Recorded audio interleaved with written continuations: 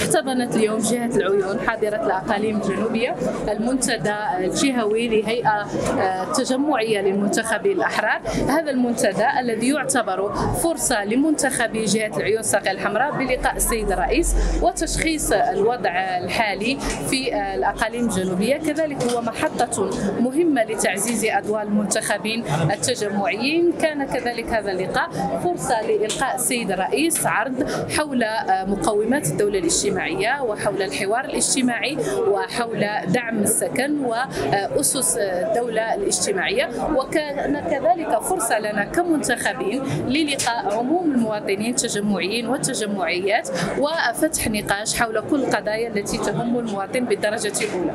اليوم نحضر محطة هي منتدى جهوي للمنتخبين الأحرار عن جهة العيون الساقية الحمراء بحضور السيد الرئيس عزيز خنوش هذه المحطة تأتي من خلال جولات يجريها السيد الرئيس في جميع الجهات وهذه المحطة رقم 11 والتي تأتي يعني بعد أشواط من بعد إنجازات كبيرة من النموذج التنموي الجديد الجديد الذي اعطى انطلاقته صاحب الجلاله نصر الله سنة 2015 ووصل أشواطا مهمة بتكلفة 77 مليار درهم والأقاليم الجنوبية الحمد لله تعرف طفره في الازدهار والتنمية من خلال الطريق المزدوج تزنيه العيون داخلة موانئ ميناء الاطلسي الداخلة ميناء الفوسفات مستشفى جامعي جهوي اللي يكون في العيون. هذه المشاريع الكبرى اللي اعطى انطلاقتها جلاله الملك الحكومة منكبة على إنجازها وعلى تنفيذ هذه المشاريع على أرض الواقع.